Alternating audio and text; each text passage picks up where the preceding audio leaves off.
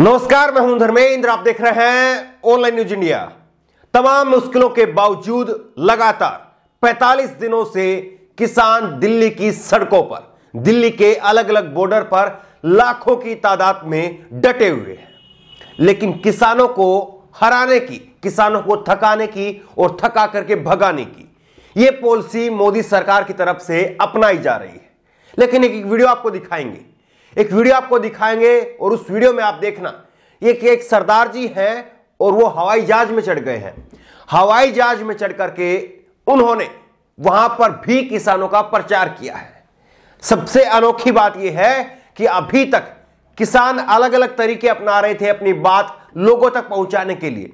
लेकिन पहली बार हवाई जहाज़ के अंदर, एरोप्लेन के अंदर इस तरह का विरोध मोदी सरकार का हुआ है। यह वाकई शर्मनाक है और मुझे याद नहीं आता है कि इस तरह से हवाई जहाज़ के अंदर बैठ करके किसी ने सरकार के खिलाफ अपनी आवाज़ उठाई हो और आंदोलन को जो है हवाई जहाज़ एरोप्लेन तक पहुँचा दिया हो। ऐसा मुझे याद नहीं आता है। डेढ़ मिनट की वीडियो है। सरदार जी की वीडियो है। आपको सुनाएँगे? पंजाबी भाषा में ये वीडियो है। इसलिए पहले आपको बता देते हैं कि सरदार जी ने क्या क्या कहा है ताकि आप समझ सके और फिर खुद सरदार जी के शब्दों में आप भी सुनिएगा।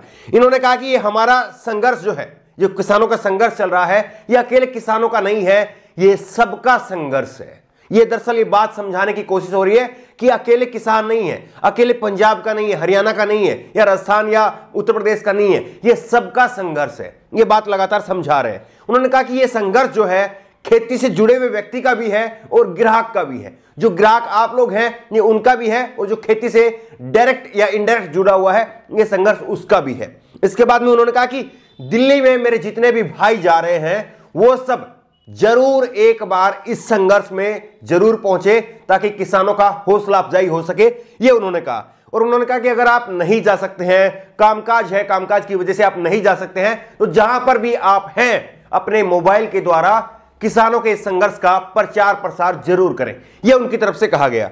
उन्होंने कहा कि हमारे जो किसान हैं, पिछले 40-42 दिनों से बैठे हुए हैं लेकिन सरकार सुन नहीं रही है, हम सब मुश्किल में है, आज ग्राहक मुश्किल में है, आम आदमी मुश्किल में है, किसान मुश्किल में है यह उन्होंने कहा। इसके बाद में उन्होंने कहा कि आने वाले दिनों में महँगाई और बढ़ जाएगी। तो इसका मतलब यह है कि संघर्ष केवल किसान का नहीं, बल्कि सबका है। उन्होंने कहा कि हमने मेट्रो के अंदर प्रचार किया, बसों में प्रचार किया, और अब मैं स्पेशल टिकट लेकर के हवाई जहाज़ में चढ़ा हूँ, ताकि हवाई जहाज़ में पहुँच करके मैं अपनी बात कह सकूँ और हमारी बात किसानों की बात दुनिया तक पहुँच सके क्योंकि किसान लगातार मुश्किल में है। हमारे सत्तर बहत्तर किसानों की मौतें हो चुकी हैं शहादत हो चुकी है। ये इस किसान की तरफ़ से इस आंदोलनकारी की तरफ़ से कहा गया है। एक बार आप ज़रूर सुनिए।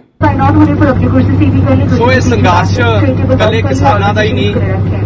ਖੇਤੀ ਦੇ ਨਾਲ ਜੁੜੇ ਹੋਏ ਹਰ ਉਹ ਬੰਦੇ ਦਾ ਜਿਹੜਾ ਖੇਤੀ ਨਾਲ ਜੁੜਿਆ ਹੋਇਆ ਜਾਂ ਇਹ ਸੰਘਰਸ਼ ਹਰ ਗ੍ਰਾਹਕ ਦਾ ਤਾਂ ਹੈਗਾ। ਅਸੀਂ ਗ੍ਰਾਹਕ ਤਾਂ ਹੈਗੀ ਹੈਗੇ ਜੇ ਅਸੀਂ ਖੇਤੀ ਨਾਲ ਜਾਂ ਕਿਸਾਨਾਂ ਨਾਲ ਨਹੀਂ ਜੁੜੇ ਹੋਏ। ਸੋ ਮੈਂ ਸਾਰੇ ਜਿੰਨੇ ਵੀ ਮੇਰੇ ਵੀਰ ਦਿੱਲੀ ਨੂੰ ਜਾ ਰਹੇ ਨੇ ਉਹਨਾਂ ਨੂੰ ਬੇਨਤੀ ਕਰਦਾ ਵੀ ਉਹ ਇਸ ਸੰਘਰਸ਼ ਦੇ ਵਿੱਚ ਉਹ ਇਸ ਤੇ ਗੇੜਾ ਜ਼ਰੂਰ ਮਾਰ ਕੇ ਆਉਣ। ਜੇ ਅਸੀਂ ਜੇ ਅਸੀਂ ਆਪ ਨਹੀਂ ਜਾ ਸਕਦੇ ਕੰਮਾਂ ਕਾਰਾਂ ਕਰਨ ਅਸੀਂ ਰਜੇਵਿਆਂ ਚ। ਪਰ ਜਿੱਥੇ ਵੀ ਬੈਠੇ ਹੋ ਆਪਣੇ ਮੋਬਾਈਲਾਂ ਰਾਹੀਂ ਇਸ ਗੱਲ ਦਾ ਜ਼ਰੂਰ ਪ੍ਰਚਾਰ ਕਰੋ ਵੀ ਇਹ ਸੰਘਰਸ਼ ਸਾਡੇ ਲਈ ਕਿੰਨੇ ਘਾਤਕ ਨੇ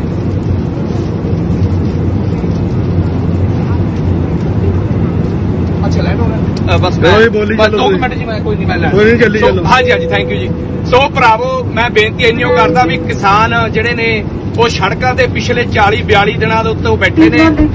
ਸੋ ਅਸੀਂ ਮੁਸ਼ਕਲ ਚ ਗ੍ਰਾਹਕ ਮੁਸ਼ਕਲ ਚ ਨੇ। ਆਉਣ ਵਾਲੇ ਦਿਨਾਂ ਦੇ ਵਿੱਚ ਬਹੁਤ ਮਹਿੰਗਾਈ ਵੱਧ ਚੁੱਕੀ ਆ। ਆਉਣ ਵਾਲੇ ਦਿਨਾਂ 'ਚ ਮਹਿੰਗਾਈ ਹੋਰ ਵੀ ਜ਼ਿਆਦਾ ਵੱਧ ਜਾਣੀ ਆ। ਅਸੀਂ ਮੈਟਰੋ ਟ੍ਰੇਨਾਂ ਦੇ ਵਿੱਚ ਪ੍ਰਚਾਰ ਕਰਿਆ, ਬੱਸਾਂ ਰਾਹੀਂ ਦਿੱਲੀ ਦੀਆਂ 'ਚ ਪ੍ਰਚਾਰ ਕਰਿਆ। ਅੱਜ ਮੈਂ ਸਪੈਸ਼ਲ ਟਿਕਟ ਲੈ ਕੇ ਜਹਾਜ਼ ਚੜਿਆ ਤਾਂ ਕਿ ਜੋ ਮੈਂ ਜਹਾਜ਼ ਰਾਹੀਂ ਵੀ ਪ੍ਰਚਾਰ ਕਰ ਸਕਾਂ, ਤਾਂ ਕਿ ਸਾਡਾ ਮੈਸੇਜ ਆ ਜਿਹੜਾ ਦੁਨੀਆ ਤੱਕ ਪਹੁੰਚ ਸਕੇ। ਕਿ ਅਹ, ਜਿਹੜਾ ਕਿ- ਕਿਸਾਨ ਆ ਉਹ ਕਿੰਨੀ ਮੁਸ਼ਕਲ 'ਚ ਆ ਸਾਡੇ 70 72 ਅਹ, ਜਿਹੜੀਆਂ ਮੌਤਾਂ ਉੱਥੋਂ ਹੋ ਚੁੱਕੀਆਂ ਨੇ इस सरदार जी की वाकई दाद देनी होगी इसके हौसले की दाद देनी होगी कि वाकई इसने बेहतरीन काम किया है और एक हिम्मत वाला काम किया है इस तरह से अकेला व्यक्ति खड़ा होकर के एरोप्लेन के अंदर अपनी आवाज को मुखर कर रहा है तो क्या देश के अंदर बैठे 132 करोड़ लोग क्या अपनी आवाज़ मुखर नहीं कर सकते हैं? यह एक उदाहरण इसने देश के सामने रखा है। या अगर मैं बोल सकता हूँ तो आप क्यों नहीं बोल सकते हैं? और अगर आप दिल्ली नहीं जा सकते हैं, आप देश के किसी भी कोने में रहते हैं, दुनिया के किसी भी कोने में रहते हैं, आप दिल्ली नहीं जा सकते इस संघर्ष में शामिल होने के लिए तो कम से कम अपने मोबाइल के ज़रिए इस संघर्ष का प्रचार प्रसार ज़रूर करें। देखिए, लगातार किसानों का आंदोलन चल रहा है। और कल आठवें दौर की बातचीत हुई। बातचीत बेनतीजा रही। लेकिन उसके बाद में एक बड़ी घटना हुई। बड़ी घटना यह हुई कि कृषि मंत्री नरेंद्र तोमर, वो किसानों से बातचीत करने के बाद में बाहर आए, प्रेस कॉन्फ्रेंस कर रहे थे और उस प्रेस कॉन्फ्रेंस में बड़े ठाके लगा रहे थे, हंस रहे थे। ये वाकई दुखदाई है। एक कृषि मंत्री जो लगातार सबको पता है कि वो जो भी कहेंगे, जो भी उनकी एक्टिविटी होगी, पूरा देश उनको देख रहा है। वो कम से कम संवेदनशील होकर के मीडिया के सामने तो एक आठ दस मिनट की प्रेस कॉन्फ्रेंस है, उसमें तो आप कम से कम संवेदनशील नज़र आ सकते हैं। क्या आप इतना भी नहीं कर सकते हैं? आप ठाके लगा रहे हैं। हमारे सत्तर बहत्तर किसानों की अभी तक जान चली गई है। करीब करीब जो है, हर चौदह पंद्रह घंटे में एक किसान की जान जा रही है। एक किसान की शहादत हो रही है, वहाँ पर मौत हो रही है। लेकिन सरकार अभी भी इन किसानों को थकाने और भगाने की रणनीति पर काम कर रही है।